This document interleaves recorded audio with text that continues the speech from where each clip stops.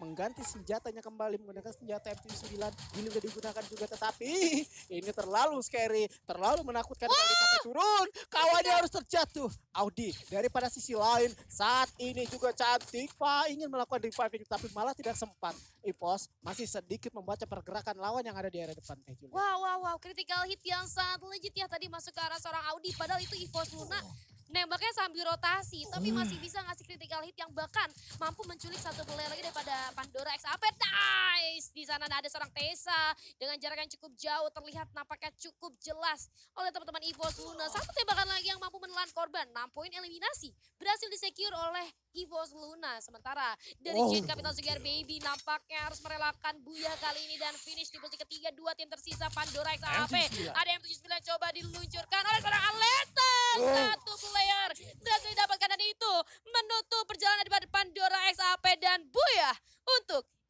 Evos Luda. Wah kualitas player dari Evo Sulun ini emang udah